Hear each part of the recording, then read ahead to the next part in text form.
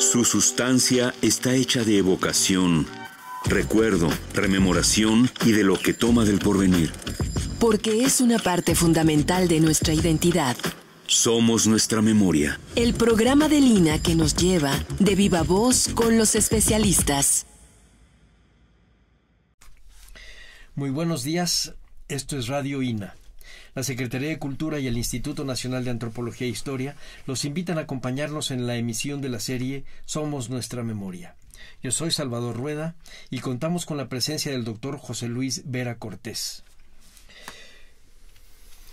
Doctor, vamos a tocar un tema que eh, debería estar presente siempre en, eh, en nuestra manera de vivir, nuestra manera de ver el mundo y sin embargo casi siempre la mandamos al sótano de la nota roja, al sótano de lo que no queremos ver, eh, eh, a, la, a, las líneas que eh, están entre lo que no queremos estudiar o que si lo estudiamos lo vemos o desde el punto de vista policíaco o lo vemos desde el punto de vista médico, pero no como parte de la naturaleza.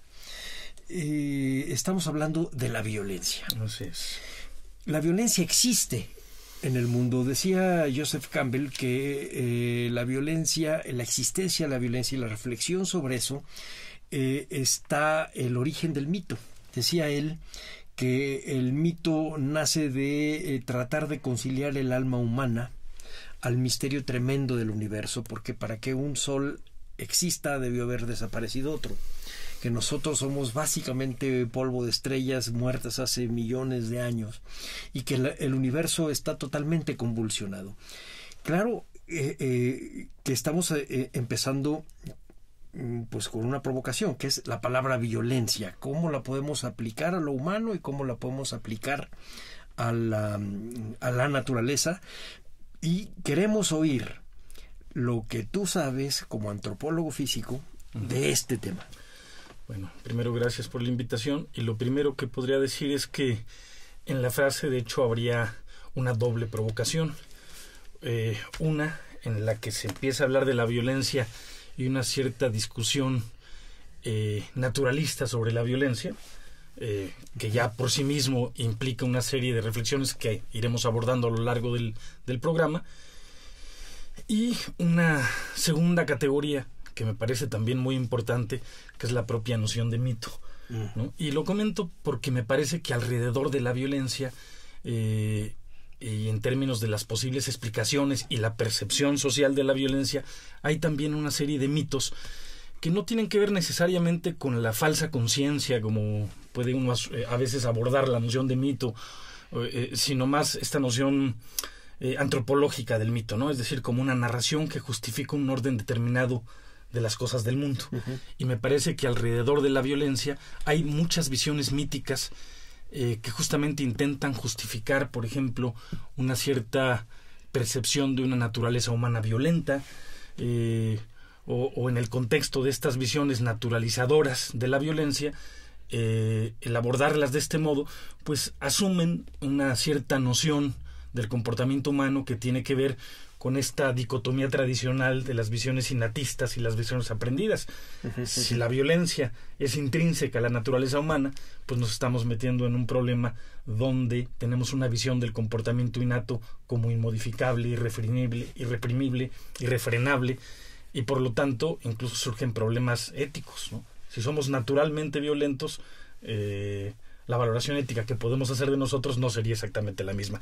Eh, no estoy diciendo con esto que esté de acuerdo con estas percepciones y justamente lo que me gustaría abordar a lo largo del, de la charla es estas discusiones naturalistas y estas visiones míticas de la violencia. No, pues está perfecto porque eh, eso nos remite también a, a la historia de las ideas eh, sobre la violencia y de las taxonomías de la violencia. Yo recuerdo haber leído hace algún tiempo un texto de eh, Jay Gould, que es un naturalista eh, darwiniano, era un naturalista darwiniano, murió por desgracia de cáncer hace 17 años.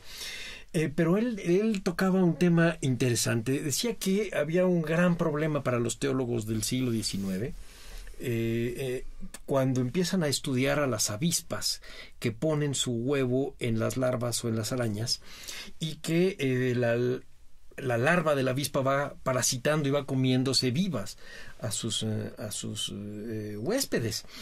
el problema que se preguntaban ellos era cómo si Dios es bueno, en la naturaleza hay esta maldad, esta violencia. Y por supuesto, eh, trataban de derivarlo a un asunto moral eh, y justificaban que finalmente el hombre era la cúspide de la creación porque tenía la posibilidad de tener conciencia de que eso podía ser bueno o malo mientras los animales no la tenían. Eh, por supuesto, eso fue totalmente discutido por el mismo Darwin, por Huxley y hasta por el mismo eh, Jay Gould. Pero no había yo visto que lo tocaran los antropólogos físicos. Yo sabía que esto lo manejaban más bien o los psicólogos o los etólogos, etcétera. Me, gusta la idea de que lo, lo trates tú de, desde, tu campo. Bueno, es que de hecho la antropología física, la antropología biológica, entre otras cosas, implica una aproximación eh, naturalista y evolutiva a, los cuestionamientos sobre el origen y la naturaleza humana.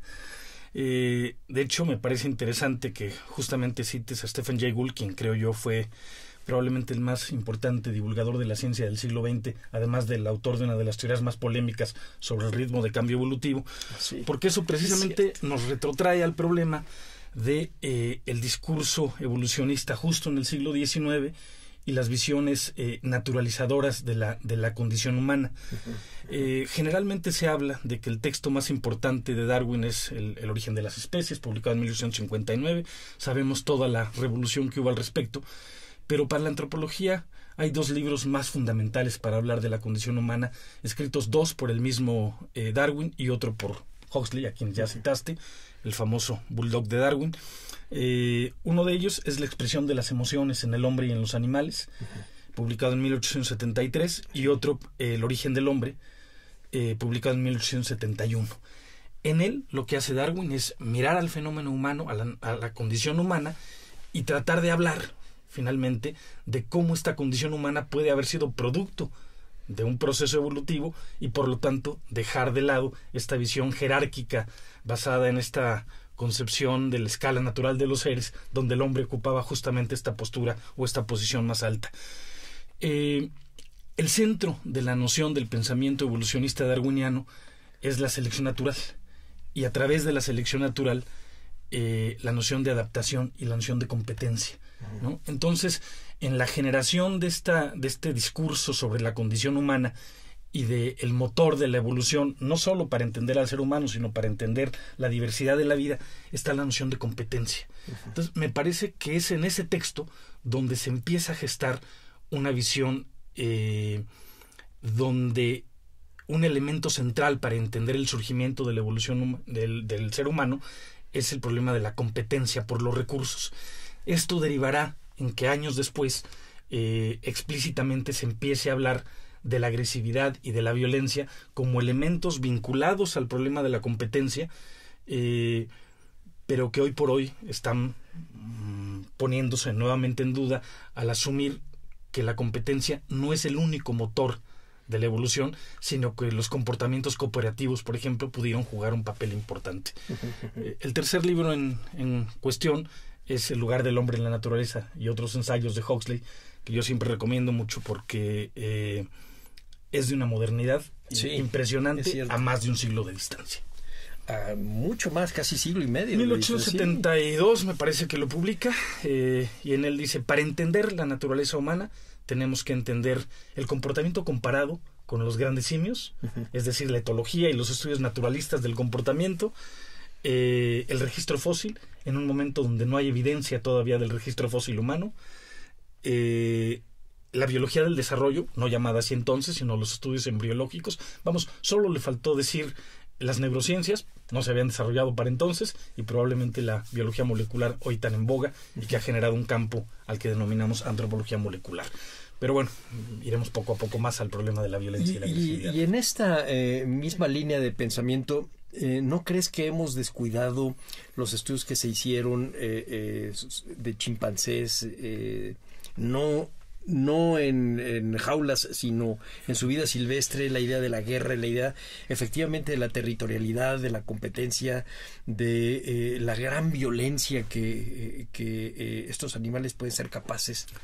Bueno, justamente yo plantearía que es un tema que desde la antropología mexicana, al menos, porque tiene un sello de identidad la antropología mexicana y la antropología física en particular, no ha sido muy abordada, pero en la antropología mundial, los estudios de comportamiento con grandes simios en libertad, hechos eh, precisamente a petición de uno de los paleoantropólogos más famosos de la historia, Luis Leakey, que alguna vez viendo a un grupo de chimpancés eh, en un lago, se le ocurrió que podían ser un modelo interesante para entender la evolución humana. Esto derivó en que consiguiera financiamiento para los famosos estudios en libertad de Jane Goodall con chimpancés en libertad, muchísimos años, los de eh, eh, Diane Fossey con gorilas, los de Virute Galdicas con orangutanes, pero en particular los estudios de Goodall hacían referencia eh, precisamente al comportamiento de los chimpancés y a lo que en un artículo muy polémico ella denominó guerra entre primates. Sí, conozco ese. Es célebre ese artículo porque eh, muchos autores no estaban dispuestos a reconocer un comportamiento que pudiéramos eh, denominar de guerra o incluso de violencia. Muchos autores hacían una, una distinción entre el comportamiento agresivo y el comportamiento violento. Y aunque estaban dispuestos a aceptar que entre los chimpancés particularmente en una especie de chimpancé, que son los, los pantroglodites, porque hay otra especie de chimpancé que es justo todo lo contrario. Los bonobos. Los bonobos, los chimpancé pigmeo, que en realidad tiene patrones de comportamiento muy asociados a una ritualización de la sexualidad, más que a un comportamiento agresivo. Entonces, el texto, de, el, el libro de Goodall, en realidad hacía referencia a un comportamiento que ella denominó guerra, pero que tenía que ver, entre otras cosas, con la defensa del territorio y de los recursos en ese territorio. Una tropa de chimpancés invade otro, el territorio de otra, los otros eh, eh, los enfrentan y durante eh, varios días hubo encuentros muy eh, eh, físicamente muy agresivos. Sí, sí, se comen al, a, quien moría en guerra, se lo comían. Eh, hay, hay, hay, canibalismo en algunos casos, en el caso de los chimpancés, y neurofagia y algunos otros fenómenos muy interesantes. lo que surge ahí como una, como una reflexión muy interesante es la necesidad de reconocer la especificidad del comportamiento animal y ver si el comportamiento humano puede ser considerado una derivación de este. Es decir, nos metemos en terrenos muy fangosos Totalmente, eh, y, delicados, incluso eh, eh, no solo científicamente delicados, sino en términos de la concepción propiamente de la humanidad. es un terreno muy, muy fangoso. ¿Cuál es el problema? hay quien, al definir la agresividad, como un comportamiento que generalmente inflige daño en, un otro, pero que normalmente en la naturaleza tiene que ver eh, con la posibilidad de sobrevivencia inmediata, con comer, con reproducirse, con la competencia por satisfactores, eh, esto que estamos reconociendo como un acto natural, entre comillas, y difundido en todo el reino animal, eh, y sobre el cual tenemos también una visión estigmatizante, porque estigmatizamos a la violencia y a la agresividad, algunos autores dicen, no, este es un comportamiento natural, que tiene que ver con la posibilidad de sobrevivencia de los organismos.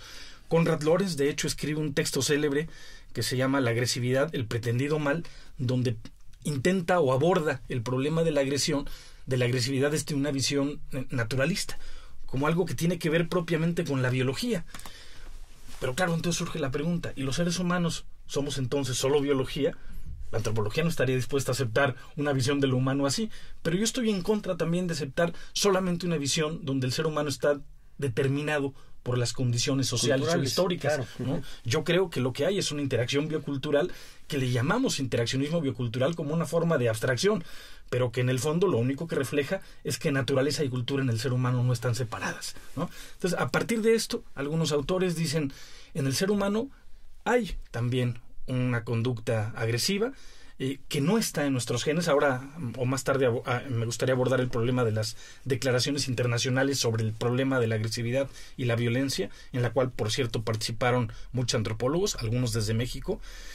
Eh, eh, pero se asume entonces que hay una forma de agresividad en el ser humano, en algunos contextos exacerbada, fuera de control, que algunos tipifican como violencia y la singularizan o la distinguen de la agresividad a partir de la supuesta intención de causar daño en un otro sujeto, que yo no estaría tan de acuerdo. Me parece que es una visión eh, más psicologista y menos antropológica en general.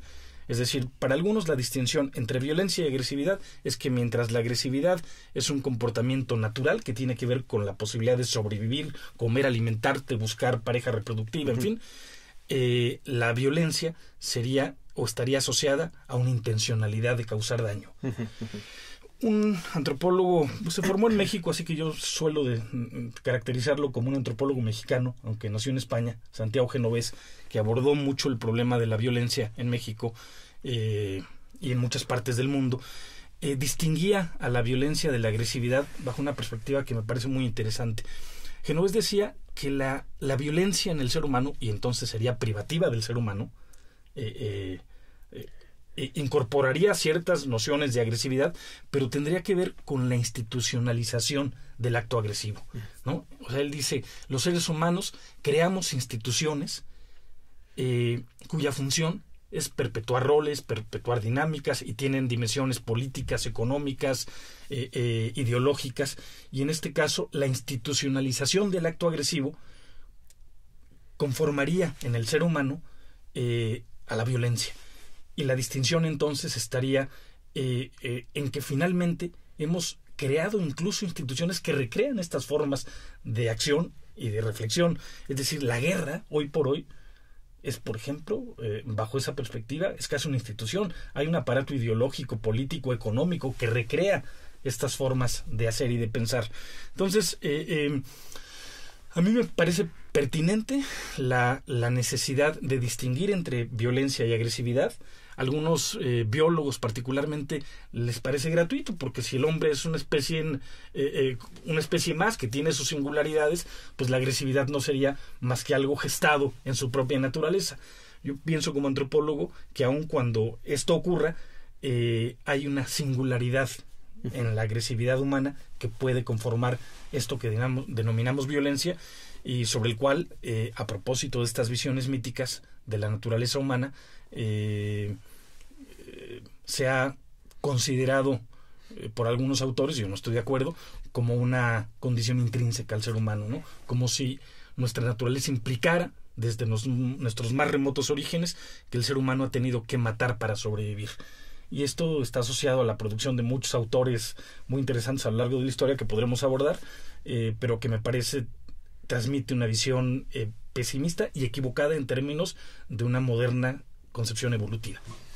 Bueno, eh, yo eh, ahorita que lo estabas diciendo me acuerdo de esta de esta explicación que daba Stephen Jay Gould entre los eh, zoocentristas y los antropocentristas y creo que él se acercaba un poco a lo que a lo que tú dices. Finalmente no es ni una cosa ni otra, pero con el desarrollo de la cultura cada vez tiene que ver mucho más con eh, una cuestión cultural y con formas eh, eh, pues muy específicas de la violencia, de a quién agredes y cómo, gratuito o no, institucionalizado o no, patologías incluso, pero que tiene que ver con realmente al ser humano como especie. Y no, no se parece a lo que sería esta avispa que está poniendo su huevo para en eso hay una gran una gran distancia pero que para el siglo XIX esa no la, no lo era. Claro. Hay que pensar que, que, los estudios de comportamiento desde una visión naturalista justo se fundan en el XIX y se van a consolidar digamos cuando cuando Nico Timberg y Conrad Lorenz le dan el premio Nobel de Ciencia en 1972 por haber desarrollado estudios naturalistas del comportamiento ¿Y eh, en qué lugar dejarías tú eh, las propuestas de Freud, eh, por ejemplo, del malestar en la cultura, que tiene que ver con el análisis que él hace de la violencia racista del inicio de la guerra, de la Segunda Guerra, de la imposibilidad del ser humano de poder realmente tener una sociedad de naciones? Es decir, que siempre hay alguien que quiere depredar al otro yo ahí, eh, de hecho, pensaría que mucho del desarrollo de la etología y, de algunas corrientes de la psicología fue una respuesta al, desarrollo del psicoanálisis en el que estas corrientes vieron una excesiva especulación, ¿no? Eh, eh, es decir, eh, la etología, el, el, propio conductismo en algún momento, centraron su atención en un asunto, en una visión mucho más fenomenológica del comportamiento, ¿no? Era el comportamiento el que, el que, el que era utilizado para poder entender eh, eh, en general el fenómeno de la conducta humana y de la conducta animal en general y, justamente la idea de la de la supuesta especulación en el psicoanálisis, lo cual no quiere decir que en, algún momento no se toquen, ¿no? Simplemente que se desarrollaron eh, reflexiones sobre el comportamiento que derivaron en la construcción, en algunos casos, bueno, de la psicología evolutiva, de la ecología del comportamiento, de la etología, de la famosa y con tan mala prensa sociobiología, en fin, todas estas corrientes eh, eh, asumieron una visión fenomenológica de la conducta en respuesta a la, a la supuesta especulación excesiva del, psicoanálisis. Eh, a veces dicen que cuando uno no tiene algo inteligente que decir respecto de un tema es mejor callar. Eh, yo no tengo una aproximación muy cercana al psicoanálisis y sí a estas otras discusiones eh, con las cuales no siempre estoy de acuerdo, por cierto. Bueno, pero podríamos empezar eh, a platicar con las que sí estás de acuerdo y vamos a, empezar a comparar para que eh, quienes nos escuchan entiendan que estamos eh, tocando un terreno que no es muy firme, sino que sigue siendo muy especulativo, pero que es fundamental plantearlo. Es decir, no es un divertimento intelectual, sino estamos hablando de algo que está en nuestra esencia. yo trabajé algunos años en, en un centro de primates ahora desaparecido, el Centro de Primates San Andrés Totoltepec.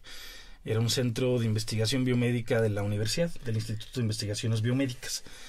Eh, ahí trabajábamos con eh, conducta social con monos verdes, que es una especie la más ampliamente distribuida en, África.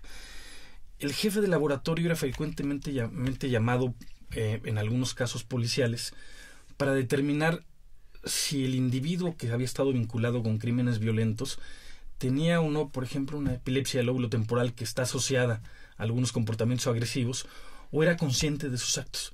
el resultado de esto implicaba que el tipo fuera o a la cárcel, o al manicomio. O al manicomio, efectivamente.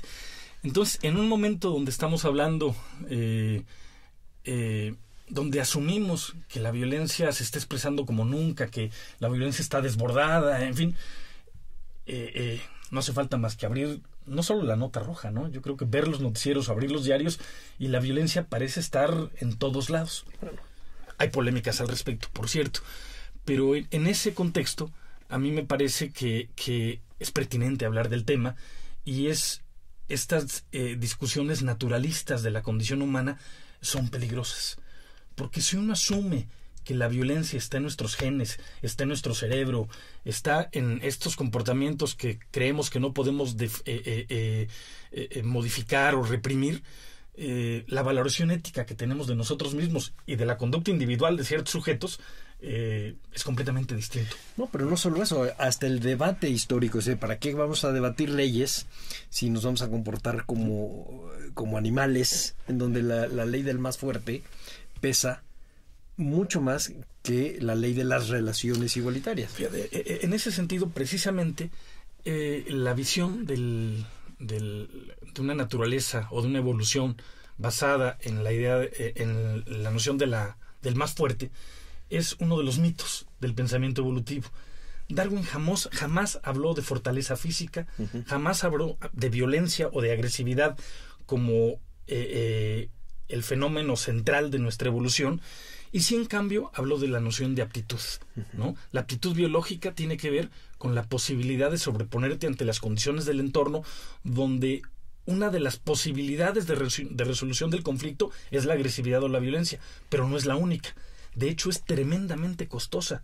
Contra lo que uno pudiera pensar, los animales suelen arreglar los problemas, los conflictos que tienen particularmente los primates, no a través del combate físico, sino a través yo sé que un antropólogo cultural eh, eh, se le pararán las pestañas, pero en, en los estudios de biología de la conducta se habla de la ritualización del comportamiento que no tiene que ver tanto con la noción de ritual antropológico cultural, pero sí con la repetición de comportamientos eh, estereotipados completamente que cumplen una función en un contexto. Es decir, ante un conflicto, los primates suelen solucionarlo a través de un combate ritualizado y muy pocas veces a través del combate físico, agresivo, violento que pudiéramos denominar. Pero existe. Claro, está, existe, está documentado. Pero no es lo eh, más común Ok. como estrategia. Sí, porque yo, yo recuerdo haber eh, eh, leído en alguna cosa de Goodwall eh, eh, cómo el macho dominante cuando se hacía viejo, el- cuando lo, eh, eh, había que sustituirlo, efectivamente la pelea era a muerte. Eh, a veces no es que muriera en ese momento, pero cuando se retiraba, se retiraba a morir. Es al final el rey viejo. Pero, pero tendemos y Te comentaste, cresta, lo sé, sí. porque de, de hecho tú hablaste de esta visión naturalista de, de la, de la condición humana y de esta visión mítica. Eh, la dominancia en los grupos de primates puede estar dada por la fuerza, pero no siempre está dada por la fuerza. De hecho, los sujetos más dominantes a veces son sujetos que son los que recurren a menos comportamientos agresivos porque la dominancia es tal que no hace falta. ¿no? Sí, sí, de sí. hecho, hay formas de dominancia que se denominan dominancia por asociación. ¿no? Que eso nos recuerda a ciertas formas de, de- de comportamiento humano. En este caso, ante un posible depredador o ante un individuo de la tropa que intenta ascender en la escala social, el dominante recluta a los miembros de la tropa y en conjunto eh, eh, eh, eh, Apabullan. apabullan al otro Sí. sin necesidad necesariamente Claro. de, de recurrir al comportamiento agresivo. Esto, Salvador, digo, es muy interesante porque eh, cuando uno ve la historia, ya no del siglo XIX, donde se funda esta visión eh, eh, adaptacionista y competitiva de la, de la evolución, sino durante el siglo XX, cuando empiezan a surgir las primeras evidencias eh, eh, del registro fósil humano, gente como Raymond Dart en 1925, cuando descubre al famoso niño de Tang, el primer australopithecído que marcó un hito en la historia de la paleoantropología, eh, Raymond Dart escribe un libro que se llama Aventuras con el eslabón perdido, Así. donde mm, de algún modo pinta un escenario donde la evolución humana y las actuales guerras no eran más que producto de un continuo, Donde los seres humanos habían desde el principio elaborado herramientas para poder eh, eh, sobrevivir y defenderse de los depredadores y a veces atacarse entre ellos. Conforme surgen más evidencias del registro fósil humano, vemos que en realidad las primeras herramientas surgen hace 2.3 millones de años, 2.5 millones de años, es decir, en un momento de la evolución humana donde habían transcurrido ya cerca de 4 millones de años de, de- de proceso de evolución. Es decir, los primeros homínidos surgen hace cerca de 8 millones de años y las primeras herramientas surgen hace solo Dos. 2.5 millones de años. Si uno ve la morfología de estos primeros homínidos, no es una morfología que pudiera estar muy vinculada a comportamientos agresivos. Los homínidos no tienen grandes caninos, algunos de ellos tienen un gran aparato masticatorio, eh, los famosos parantropos, que eran formas robustas del género australopithecído, ahora denominado como parantropos, eh, pero resulta que estos eran probablemente vegetarianos. Pero en fin, Sí. Dart construyó una visión o una concepción de la naturaleza humana basada en, en esta, en esta conducta agresiva. Y durante la década de los eh, 50, 60, autores como Robert Ardrey, que escribió un libro que se llama El imperativo territorial y, y la hipótesis del simio cazador, el mismo eh, eh, autor del mono desnudo, Desmond Ah, Morris, Desmond Morris, sí. construyeron este imaginario donde los seres humanos estábamos eh, o éramos el producto de comportamientos agresivos. En contrapartida, y, y- casi simultáneamente esta época, se empiezan a generar modelos que dicen resolver los problemas a partir siempre de actos agresivos es energéticamente muy costoso. Sí, claro. La cooperación a veces es una muy buena estrategia. Y generalmente cito a Genovés porque Genovés en México, a finales de los 60, hizo un pequeño documental de dibujo animado que se llamó El músculo y la cultura, donde contraponía precisamente esta visión eh, agresiva de la condición humana respecto de una visión que retomaba a Kropotkin eh, eh, y retomaba la noción de cooperación. Y tenía una frase que a mí siempre me pareció muy ingeniosa. Decía, si los seres humanos hubiéramos tenido siempre que competir y resolver nuestros problemas agresivamente, los débiles dice, heredarían, si no la tierra, si a las viudas de los fuertes que habrían muerto en el combate físico. ¿no? Pues sí. Mm, Me parece muy interesante. Y Genovés es precisamente uno de los promotores de la Declaración de Sevilla, que es una declaración internacional sobre la violencia que podremos abordar un poco más tarde. Pues eh, antes que nada quisiera yo eh, recordarle a nuestro público que estamos platicando con el doctor José Luis Vera Cortés sobre un tema nodal, la violencia. Antes que lleguemos a lo de las declaraciones y esta parte que eh, es realmente muy importante para saber también cómo se está tocando modernamente este asunto, me gustaría que todavía camináramos un poquito sobre la historia eh, de las ideas. Tienes razón eh, eh, cuando dices que las conductas de los primates no son fundamentalmente agresivas. Hay momentos de, de agresividad. bueno, como cuando se definía a la violencia como uno de los ejercicios del poder, Stefan Zweig decía que un gesto de terror evitaba el acto de terror. no necesitabas llegar a ser terrorista, sino con que tuvieras un gesto y era mucho más económico, eh, porque el otro aceptaba tu, posición. Eh, yo pienso que también eso pasa en el hombre, no somos fundamentalmente violentos, eso nos tiene eh, muy preocupados porque está por todos lados, pero no quiere decir que eso seamos.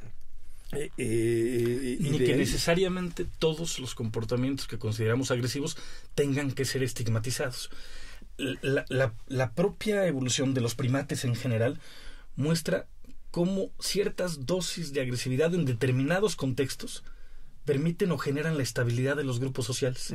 O sea, que la, que la agresividad en ciertos contextos podría cumplir una cierta función no necesariamente negativa. ¿no? Eso me parece interesante y fue una de las derivaciones de los... Eh, de la visión de Lorenz sobre, sobre la agresividad. Lo que pasa es que Lorenz cayó un poco en, en desuso y en desgracia a partir de sus vínculos con, con el Partido Nacional Socialista durante la Segunda Guerra. Eh, sin embargo, muchas de sus visiones sobre el comportamiento animal y sobre el comportamiento humano eh, son o siguen siendo fundamentales para entender eh, para entender el comportamiento como producto de esta interacción biocultural en el caso de los seres humanos.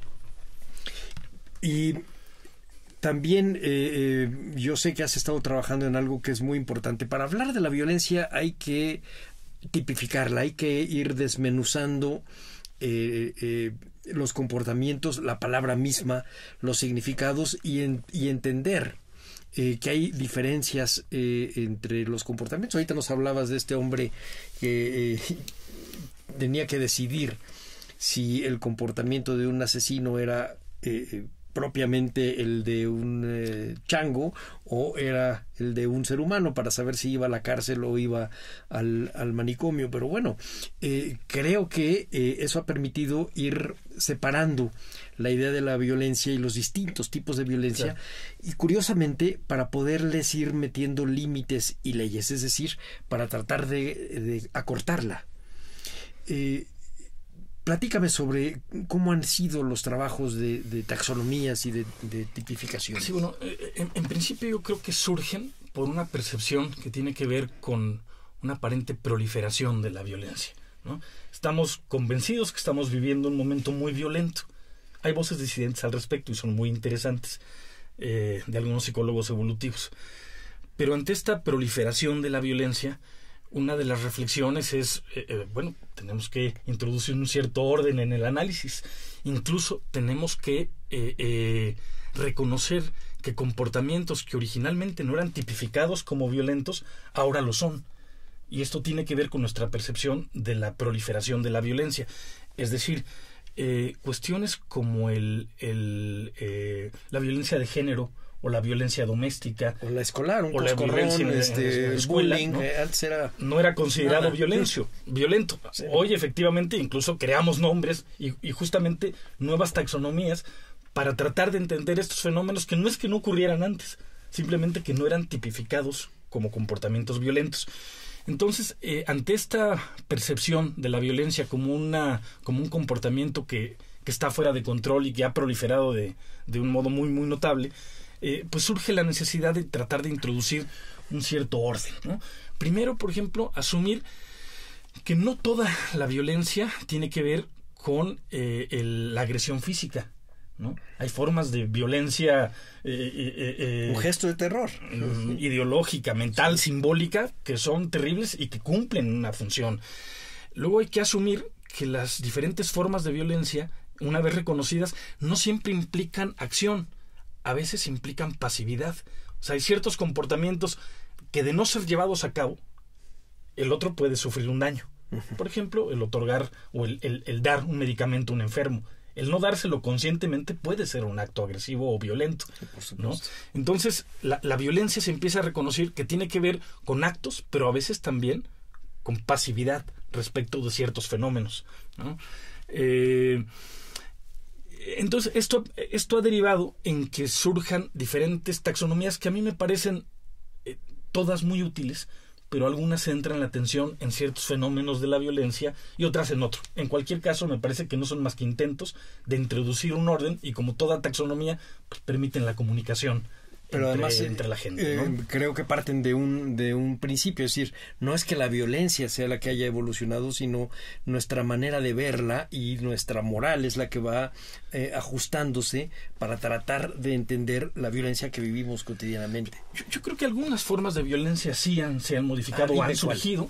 Pues me parece que, por ejemplo, hoy en, el, en la era de las redes sociales, las formas de violencia y de agresividad que se manifiestan en las redes, pues no las teníamos antes en la medida en que no estaba presente el eh, medio. El, medio. Eh, los famosos haters que hoy están identificados como gente que se dedican en las redes a, agredir a quien sea y de la forma que sea, eh, son nuevas formas de violencia que probablemente no, no modifiquen sustantivamente en nuestra percepción de la violencia, pero que sí abren nuevos escenarios porque una de los de las taxonomías de la violencia hace referencia a los espacios donde se da esta, ¿no? Eh, la casa, la escuela, ya comentaste, pero a veces eh, la diversidad cultural está asociada a ciertos fenómenos de violencia y que son justificados por el ámbito cultural, eh, los medios de comunicación, el cine, o sea, hay diversos espacios que dan nuevas dimensiones. Una cosa que llama mucho la atención, por ejemplo, es la violencia por contexto cultural. Y el, el ejemplo que normalmente se cita es el asunto de la ablación de clítoris eh, ah, eh, en muchas poblaciones eh, de origen africano y de origen de Oriente Próximo, ¿no? donde es justificado un comportamiento violento por el contexto cultural, donde aparentemente tiene un significado distinto a lo que en Occidente percibimos como violencia. me parece que ese tipo de reflexiones eh, mm, no se daban antes y no es que no se dieran los espacios donde se manifestaba esto, sino eh, pues surgen tipologías que identifican a estos comportamientos. Yo iba a algo un poco más eh, raro, si tú quieres, y, por supuesto lo digo específicamente para caerte gordo y, y que me puedas contestar. No lo lograrás. Pero yo recuerdo haber leído alguna vez un texto de Ítalo Calvino sobre los grafitis en la Roma antigua y los grafitis en la Roma moderna. Y entonces decía, bueno, finalmente los dos tipos eran una agresión eh, visual a la gente. Lo que intentaba era molestar. Era dañar el monumento, era eh, eh, mandar mensajes políticos, o a veces amorosos, pero en lugares que eran públicos y que no estaba permitido hacer ese tipo de, cosas. Bueno, él está hablando de algo que pasaba hace dos mil años y que se repitió en el siglo XX. Eh, ese tipo de, agresión lo único que cambió fue, digamos, el, el modo, pero la lectura sigue siendo la misma. Eh, los haters, eh, bueno, lo que usaron es otro, es otro instrumento, pero la, la agresión sigue siendo la misma te estoy molestando porque ya vi que, que, vas más hacia el lado eh, de, digamos, de la, de la percepción no, no quiero decir antropocéntrica, pero digamos más cercana a la percepción humanista de la violencia. Eh, eh, y yo quisiera tocar la parte oscura de tu, de tu agresividad, digamos, a la parte natural de la violencia, o sea, a donde estamos hechos más animales. qué pasa ahí? Mira, eh, eh, primero diría, y, y con esto sí ah, eh, tomo lugar, me parece que la discusión sobre la naturaleza humana es un problema caduco. Me parece que tiene que ver con un momento histórico, es fundamentalmente una pregunta decimonónica para la, para la, para la ciencia y el naturalismo, y que no será la ciencia la que construya una visión de la naturaleza humana. Yo parto de ahí.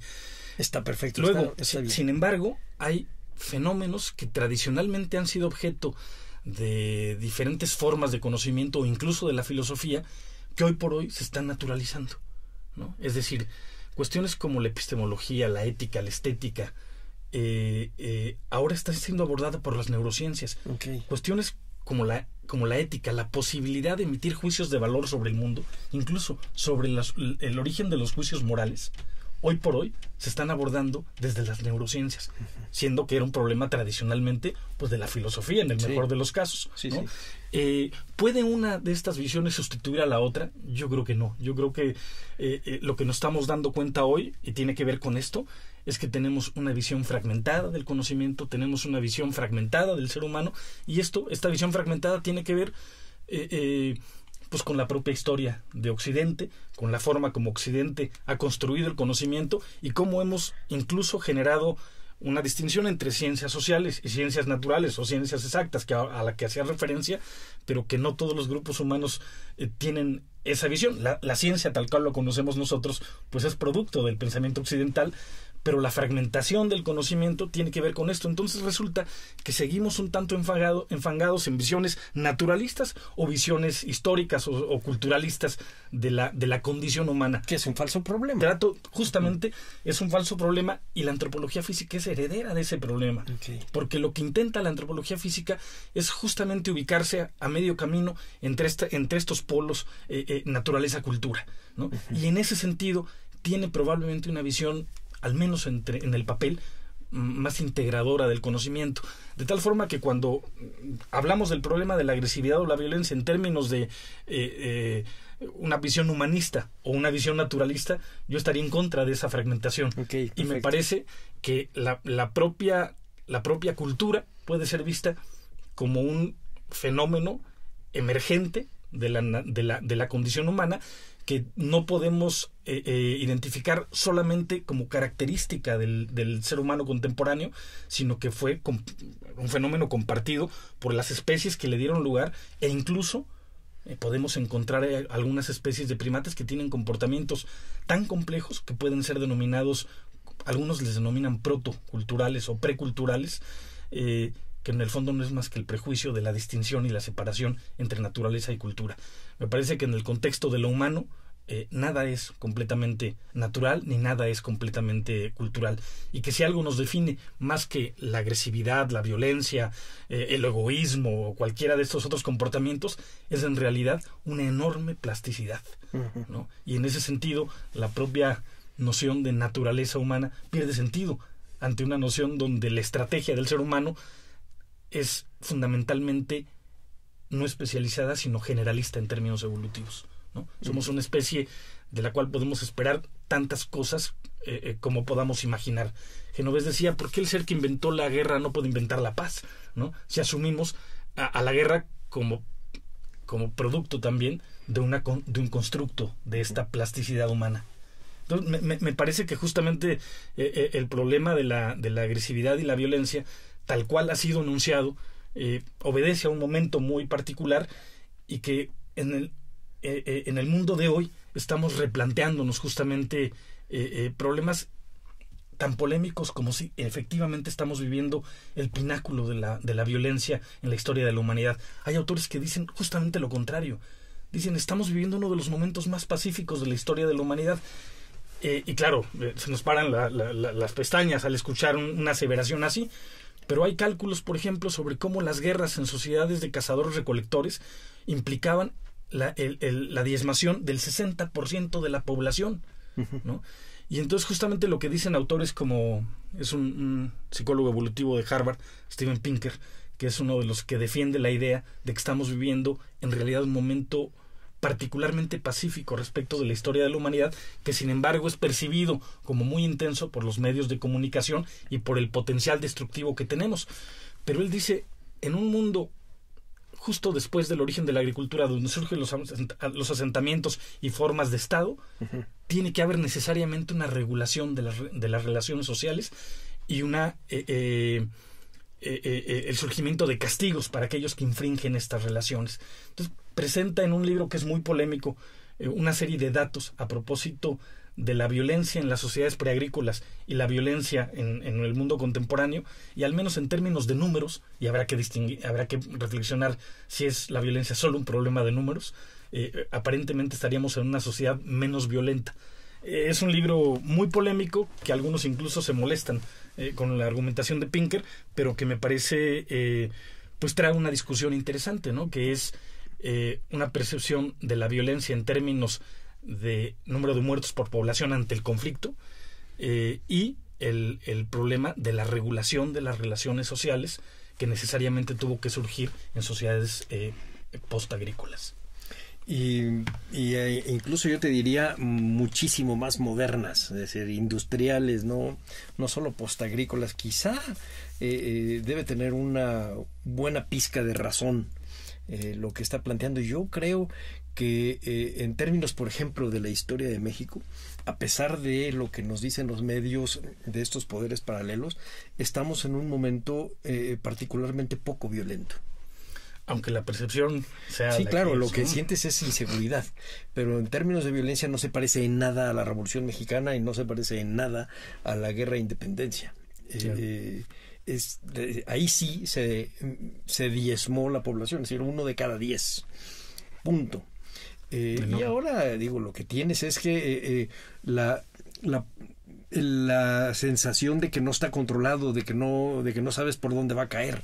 Eh, eh, pero eh, en términos de historia social, efectivamente no es especialmente violento. Yo que te quería picar la cresta y en realidad tú me la, me la acabas de picar y además abrir un horizonte espléndido sobre la manera de abordar a la violencia. Me gustaría que me platicaras un poquito más sobre el legado de Genovés y por dónde caminaríamos para hacer un estudio eh, del ser humano, efectivamente no del, de la naturaleza humana, que ahí me mataste. Yo siempre pensé que eso era uno de las eh, de los problemas centrales de lo, ha del pensamiento. Eh, bueno, pero ya dijiste que somos arcaicos esos, entonces está bien. pero el efectivamente el, papel de la agresividad, de la violencia, de nuestras conductas, ¿por dónde podemos abordarla? Eh, sin que sea ni antropocentrismo ni eh, eh, occidentalocentrismo. ¿Cómo podríamos verlo con mayor objetividad? Bueno, son, son dos cosas. Empiezo por la segunda sí. y, luego hablamos un poquito de Genovés. como, alguien, como un pionero en este tema, en la antropología mexicana. yo creo que justamente cuando hablamos de cómo estudiar un fenómeno como este, ¿no? que me parece que tiene una dimensión antropológica total, ¿no? tiene que ver a veces en algunos casos con procesos realmente, eh, eh, eh, sobre todo en casos de psicopatía asociadas a la, al cerebro, a la, a la, condición intrínseca, digamos, del sujeto. Pero esto finalmente me parece que tiene que ver con cómo hemos fragmentado justamente el, saber, ¿no? Me parece que para abordar el problema de la violencia, tenemos que hacerlo desde muchos frentes, ¿no? En efecto, pues es muchas veces complicado hacerlo. La psicología lo ha abordado, la antropología cultural lo ha abordado, eh, la propia biología lo ha abordado desde estas concepciones naturalistas, la antropología biológica en la medida en que se ha aproximado a esta, digamos que es la por decirlo así, la, antropología evolucionista, eh, digamos, sin reparos, ¿no? Asumiendo que hablamos de otro tipo de evolucionismo, de evolucionismo, no del evolucionismo cultural que sabemos los usos y los abusos que tuvo durante el 19. Entonces, me parece que poner en, diálogo a estos saberes y tratar de generar un conocimiento más integrado, pues es la única forma eh, de entenderlo eh, y, asumiendo que esto tiene que ver eh, sí con una discusión naturalista, pero también con procesos de educación. ¿no? Yo creo que la educación jugó un papel fundamental en este contexto y fue una de las, de hecho, de las recomendaciones de estas declaraciones internacionales a las que hago referencia o hice referencia hace un rato, particularmente dos de ellas, la Declaración de Sevilla de 1986, en la que participó Genovés, y la Declaración de Valencia de 1996, que justamente participó eh, otro querido profesor, eh, eh, José San Martín, que fue director del Reina Sofía para estudios sobre la violencia. En el caso de Genovés simplemente mencionaría que Genovés es un referente de la antropología física en México, a diferencia del otro gran titán, digamos, en cuanto a producción, eh, el, maestro Juan Comas, ah. que, bueno, ambos llegaron de España, pero Genovés llegó hecho niño, ¿no? Genovés decía, yo no vine, a mí me trajeron, a los nueve años uno no va a ningún, sitio solo, ¿no? Lo llevan. Genovés se formó en México, se formó como, como un antropólogo físico en, en un principio aparentemente tradicional, su tesis doctoral sobre dimorfismo en el hueso coxal, eh, eh, para determinación de sexo en homínidos y esto fue una cosa muy importante que hizo en Cambridge a finales de los 50 pero en los 60 él empezó a abordar el problema del comportamiento desde una perspectiva evolutiva cosa que en México se pensaba o era impensable que un antropólogo físico abordara el comportamiento se asumía que que no era objeto de estudio antropofísico. No, de hecho se le pensaba un poco excéntrico el asunto, ¿no? Y yo creo que lo, lo fue en muchos sentidos, pero esto no hace que, que no tuviera eh, no solo arrojo, sino eh, rigor en muchos contextos. Eh, todo el mundo recuerda a Genovés porque atravesó eh, el Atlántico en, la famosa balsa a Cali, el que antes lo hizo con Thor Heyerdahl en el experimento Ra2, porque estaba, pues sí, muy interesado en problemas difusionistas. Pero en los 60 Genovés empieza a estudiar el comportamiento y particularmente la violencia. Escribe, de hecho, bueno, primero hace una película a finales de los 60 eh, que yo digo, un antropólogo haciendo cine a finales de los 60 en México sobre temas antropológicos, me parece fascinante, que se llama Pax y es una reflexión sobre la violencia. Luego eh, escribió Expedición a la Violencia, una serie de libros que luego fueron llevados a la televisión con una serie de capítulos estilo eh, Cosmos de Carl Sagan, varios capítulos a propósito de la violencia, se llama Expedición a la Violencia y fue cofinanciada por España y México. Es decir, eh, eh, eh, Genovés participó no solo en la investigación sobre problemas de violencia en México y en el extranjero, tiene un libro que es La violencia en el País Vasco y en sus relaciones con España, que fue también muy importante en su momento, sino que además pues abordó el problema de la, de la difusión del conocimiento que yo siempre he dicho es importantísimo y que como gremio a veces lo, lo descuidamos, ¿no? Eh, eh, terminamos hablando entre nosotros, pero un programa de hecho como este que, que es un programa abierto y que puede ser escuchado por cualquiera es casi una responsabilidad me parece de los, de, los antropólogos en general. En ese contexto, en 1986 eh, Genovés fue uno de los convocantes de la Declaración de Sevilla, que fue un pronunciamiento de la comunidad internacional a propósito de la violencia. Eh, participaron por México eh, tanto él como un médico, José Luis Díaz, ahora historiador de la medicina, y una serie de médicos, filósofos, biólogos de todo el mundo, donde llegaron a conclusiones tan interesantes como que no hay en el proceso de evolución humana una presión selectiva mayor sobre la violencia o la agresividad que sobre otras formas de comportamiento, que no hay una... Que es importantísimo eso porque, eh, eh, digo, para la época en que estaba, en que estaba saliendo, eh, todavía se pensaría que es la violencia el motor de, la, de la evolución y no. Entonces se dice, no es que no haya habido alguna presión de selección para el comportamiento agresivo, pero no de una magnitud mayor que para otros comportamientos, claro. como el cooperativo, en fin, para otras formas de comportamiento. Que no hay en nuestros genes un gen que nos predisponga para la violencia, ¿no? excepto en ciertas patologías que se han identificado, ni en nuestro cerebro una estructura que nos predisponga para ser violentos, aunque en algunos casos de psicopatía pueda haberla, ¿no? Yo decía yo, la, la lesión, una lesión, una epilepsia del lóbulo temporal puede a veces provocar en ciertos contextos uh, comportamientos eh, terriblemente violentos pero digamos en, en términos generales no lo hay. No, porque las psicopatías son no son eh, la norma, eh, la norma exactamente, son particularidades eh, y son individuos que tienen esto, no no son sociedades completas. Así es. Y en general, digamos, la Declaración de Sevilla que fue tomada por la UNESCO como como la declaración oficial de la UNESCO sobre la agresividad y la violencia, pues eh, erradica esta visión naturalista de la, de la agresividad.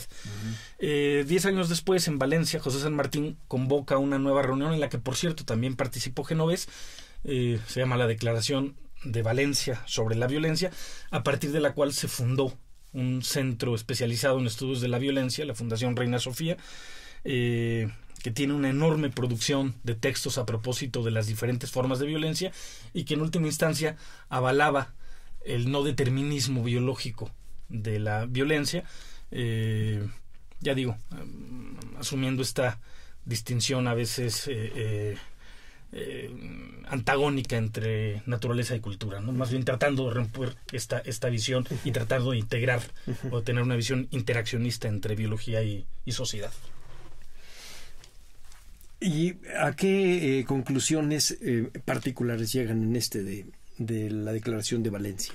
En Valencia centraron la atención en el proceso de educación como una de las formas que intentaban erradicar el problema de la violencia. Eh, pasa un poco lo que ocurre, uno puede establecer mil vínculos de violencia y muchos, muchos otros fenómenos. Uno muy importante me parece es, por ejemplo, la violencia y el racismo, ¿no? Y, justamente cuando se plantea este tema, ¿no?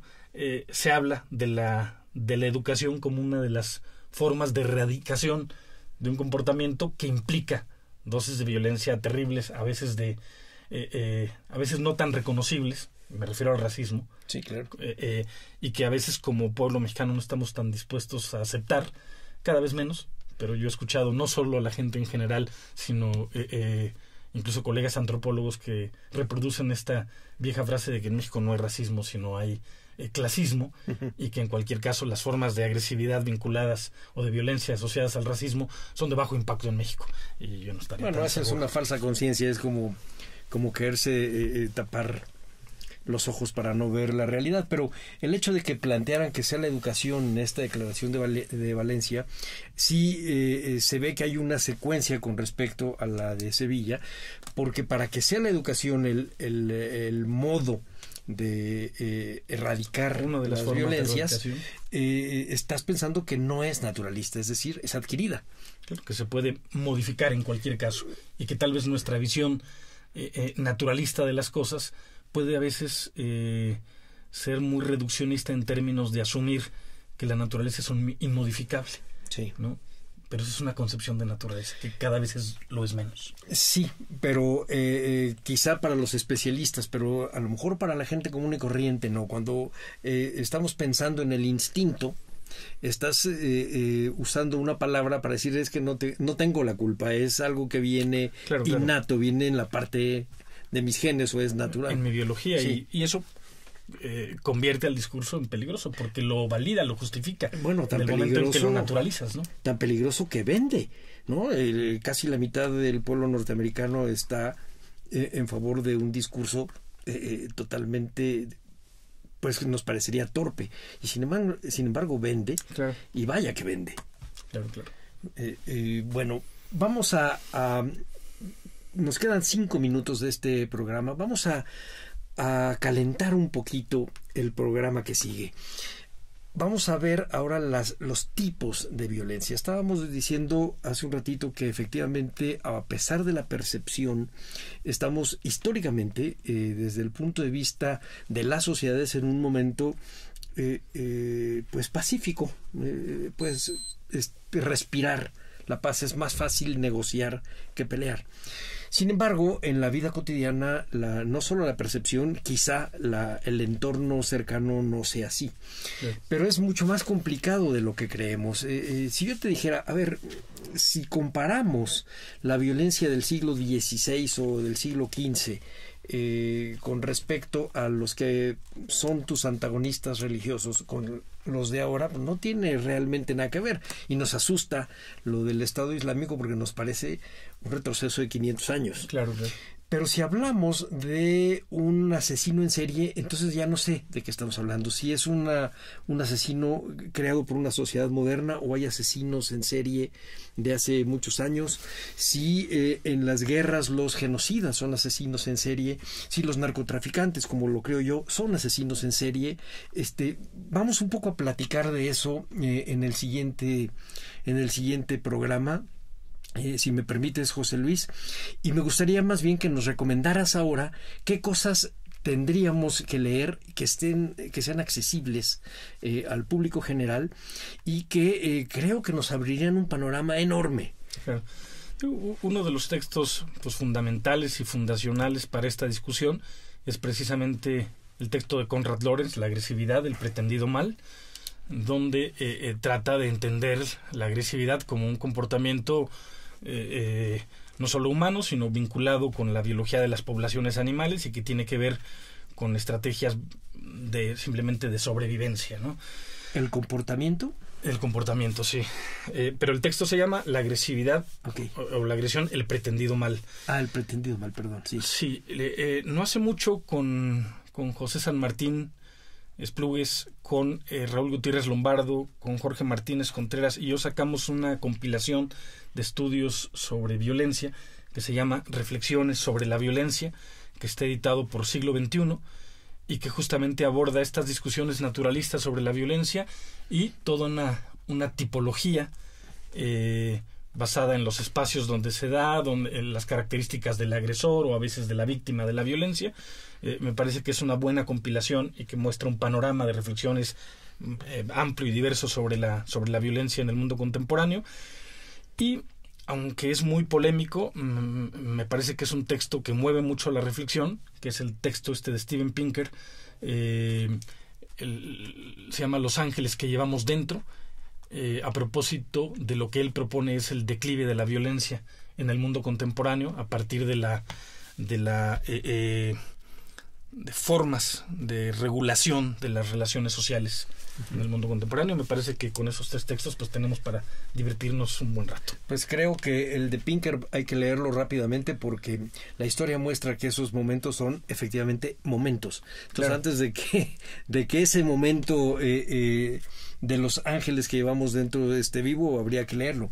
Pero sí, eh, yo voy corriendo ahorita a leer el de las reflexiones eh, sobre la violencia porque eh, sí nos abre un, mundo totalmente distinto y el hecho de, que haya distintos puntos de vista y empezando por criticar las visiones separadas y convencionales de, de la violencia y de la conducta humana, creo que eh, nos permite también acercarnos a la antropología de hoy y vislumbrar un poco la de, la de mañana. Pues con esto, eh, José Luis, te doy las gracias. Damos por terminado el programa de hoy. No sin antes invitarlos al siguiente programa, porque ahí sí vamos a tocar ejemplos de, de violencia. Te invito a que eh, estemos en, el, en la siguiente emisión. Eh, a nombre de Radio INA, doy por terminada esta emisión que fue posible por la generosa participación del doctor José Luis Vera Cortés, antropólogo físico. Gracias a nuestros escuchas por su atención. Les sugerimos consultar más de nuestra producción a través de www.radio.ina.gov.mx en la realización, la Dirección de Medios de Comunicación a través de la Subdirección de Radio INA con Gabriela Marentes al frente. En la producción, Evanibaldo Morales. En los controles técnicos y edición, Rubén Martínez. Yo soy Salvador Rueda. Hasta la próxima. Las opiniones y comentarios aquí expresados son de entera responsabilidad de quienes proporcionan la información y no representan necesariamente las opiniones de Radio INA ni comprometen el pensamiento editorial del Instituto Nacional de Antropología e Historia.